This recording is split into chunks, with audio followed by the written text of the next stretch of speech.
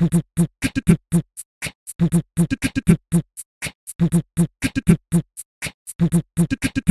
everyone, I'm going to show you how to make a beatbox instrument, your very own.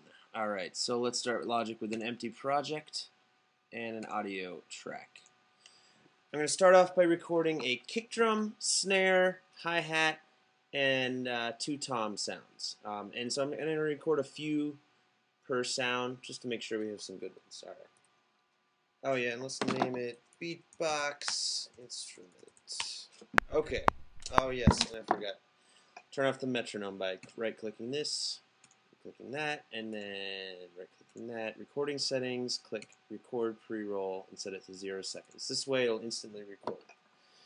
All right. Let's record. I'll just record all those. I think that was a good kick. Let's go to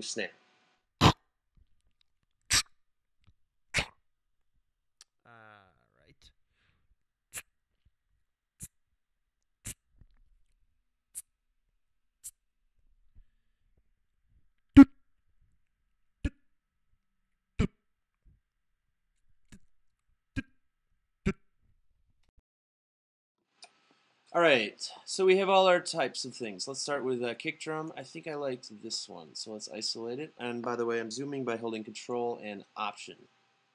And you might have two things here. I have three. You can set that in Options. The third one is just for right click, so I can right click and cut just a little quicker. Alright, here's our kick drum. Let's listen to it. I like it. Go out here. I like that snare. Zoom out a little bit. Alright, let's cut it here and here. Alright, sounds good. Hi-hat now.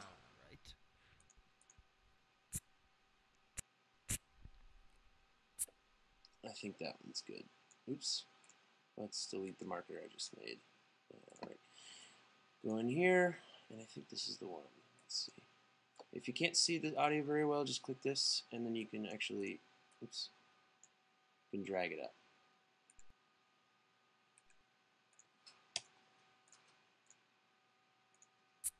Alright, I like that. And now the toms. Kind of strange toms, but they'll work.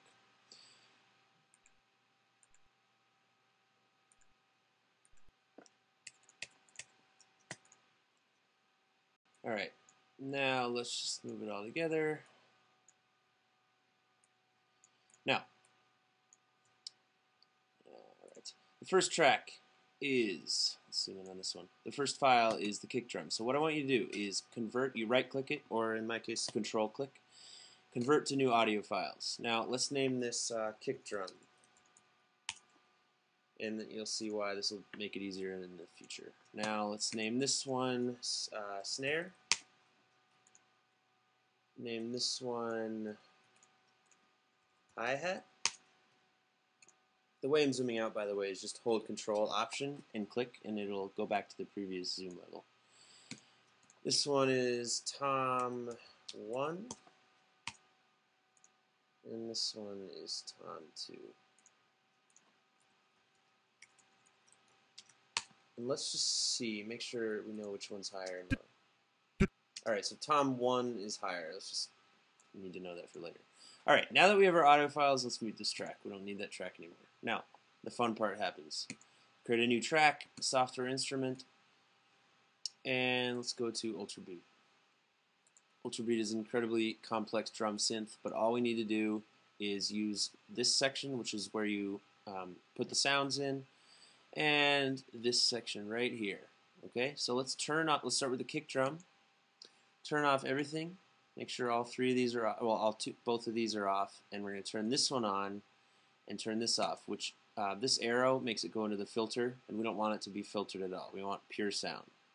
So go to sample, go in here, load our kick drum, and we actually have to go to the beatbox instrument load our kick drum. Alright. And the cool thing is once you load it, you can play it here by clicking, or you can actually play it on the keyboard. Sounds good to me. Let's go to our snare, do the same thing, turn these off, click that, load snare. Alright, snare's way too quiet. Let's turn it up here. Now it's a little too loud. And closed hat. Let's see how that sounds when we add it in. It's probably going to be really quiet. Let's see. Yes, it's very quiet. So let's turn it all the way up here and all the way up here. Still a little too quiet, so let's turn these two down so it's relatively better. Alright, and then let's go to the mid tom. And that will be tom 2. And then the high tom. That'll be tom 1. Oops. The reason we don't hear anything is because the volume's down. So let's turn up mid tom, turn up high tom, see what they sound like. See what they sound like compared to the others. Turn those up a little bit, especially the high. Oops. All right. Now, the great thing is we can play around with it now.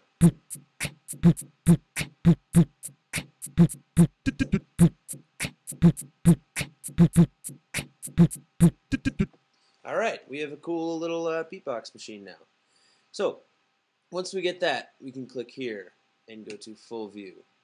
And let's just uh, let's start with a new thing. These are all SQ means it has a sequence already, so let's start with a new one. All right, we have our own new little sequence here.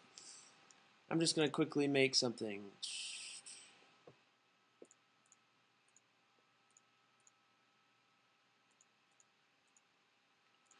All right, there's our kick, uh, and this is each one of these is a um, is a beat. Dun dun dun dun.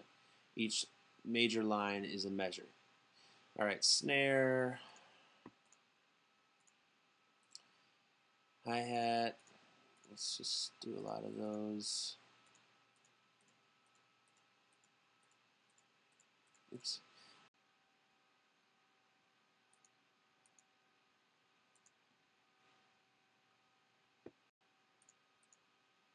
see what this sounds like. Now, when you write out your pattern, and you can play this, play around with it a lot.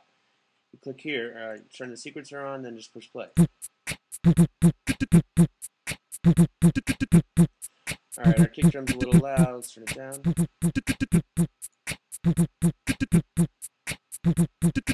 Turn up.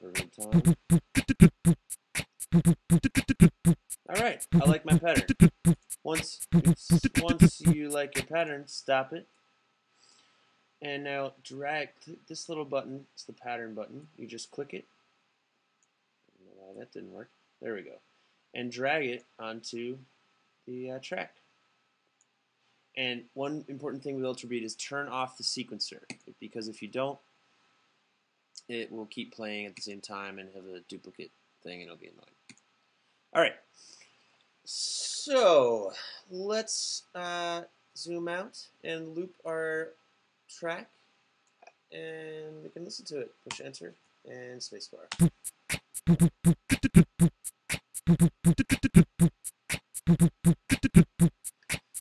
Works pretty well. Be sure to check out the next part of the tutorial because we're going to add to this a an acapella instrument that you can actually play your voice as an instrument on the keyboard.